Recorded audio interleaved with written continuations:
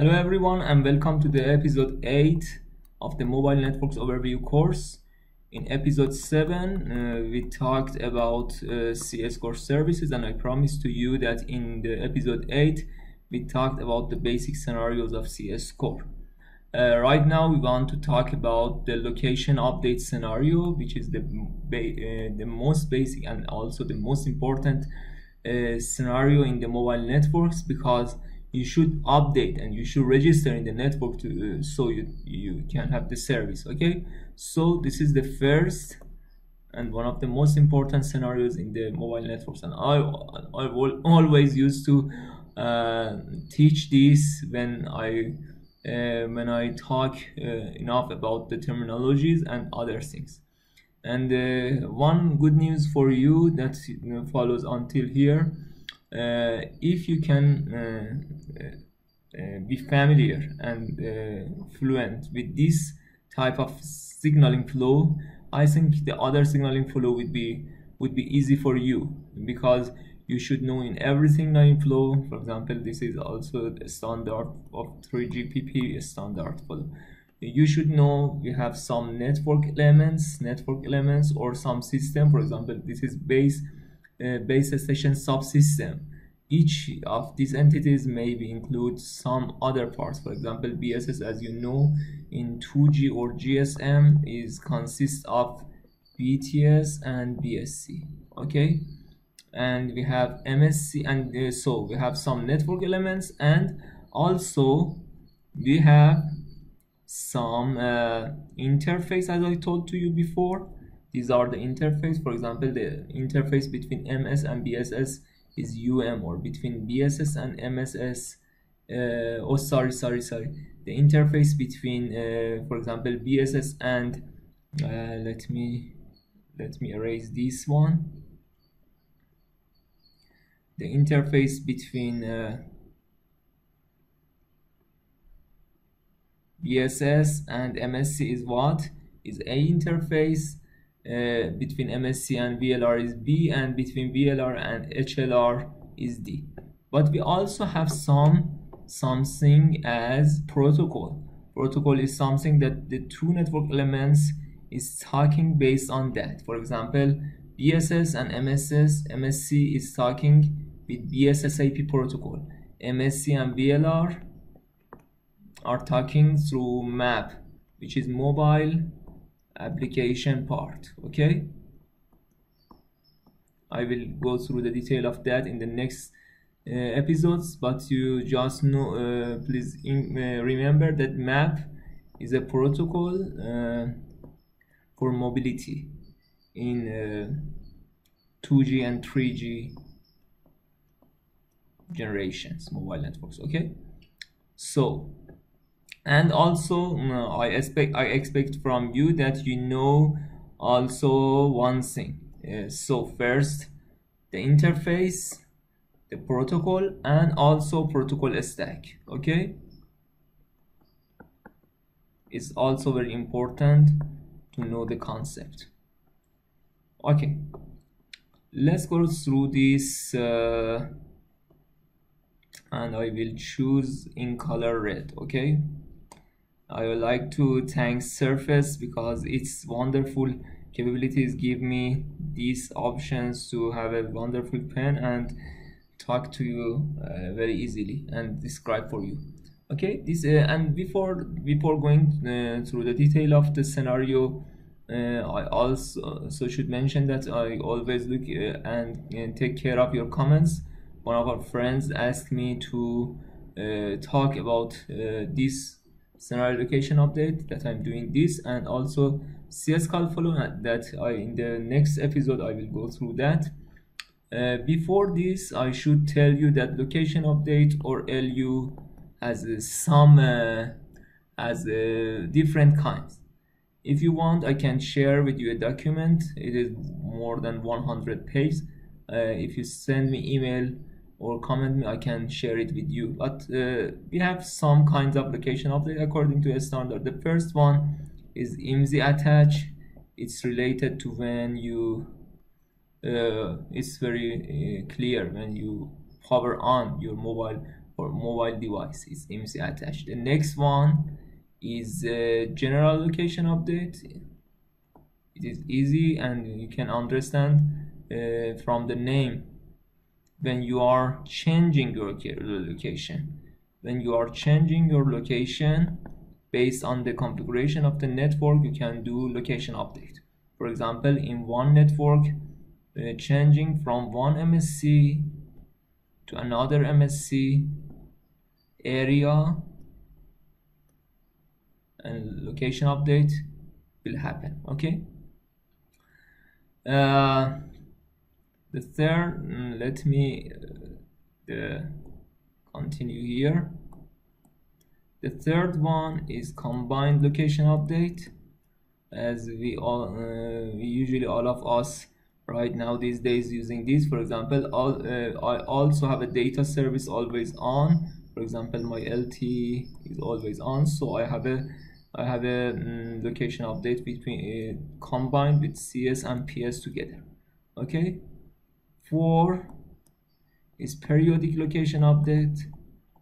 Based on the standard uh, network can set a timer in BSS for example four hours to, the, to get track of the subscriber and two um, usually two weeks of this uh, uh, this uh, timer in MSC will set to get track of the uh, subscriber. I will uh, I will talk about the details more in later. And five independent location update. Okay? So let us uh, talk about what will happen. For example let's see that uh, you just uh, just power on power on your mobile and the first scenario the attach is happening. The first uh, the ms or mobile subscriber will send a request location update request by carrying its IMSI or maybe TMSI I. Will say, I told to you what is TMSI TMSI is a temporary mobile subscriber identity to uh, to take care of confidentiality of IMSI okay? Then BSS and also some other parameters. Mm, maybe TMSI all location area current LAI and so on.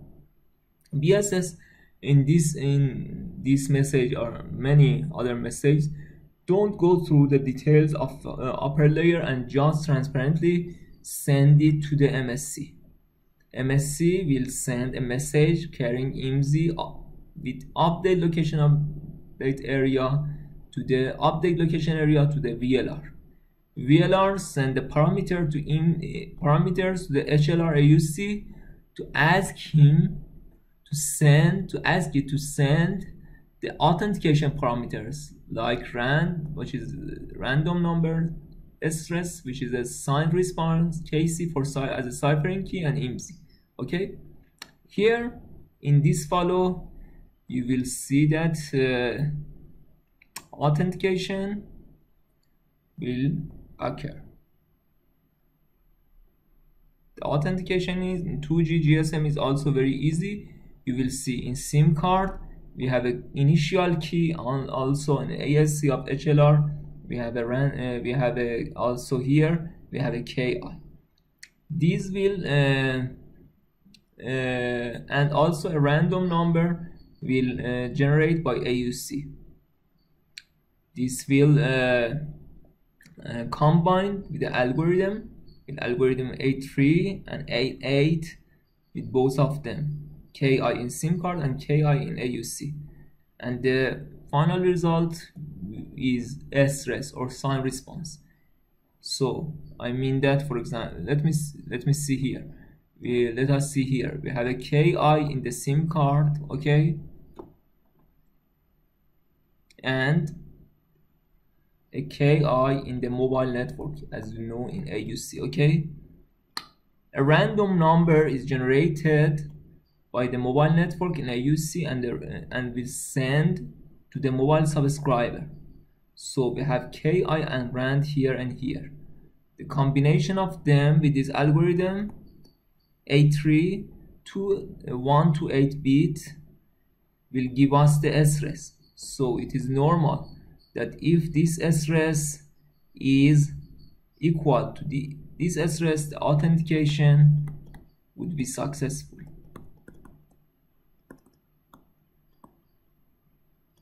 Okay? So here it was this uh, authentication procedure. Then if there is a previous VLR it will send a cancel location update to that and an acknowledgement will come from that in this in this session in this uh, uh, uh, phase.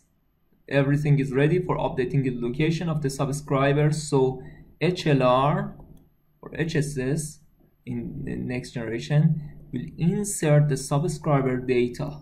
When I say insert subscriber data it means that uh, the profile of the subscriber or some data that is needed for HLR to update the location update the subscriber in its database.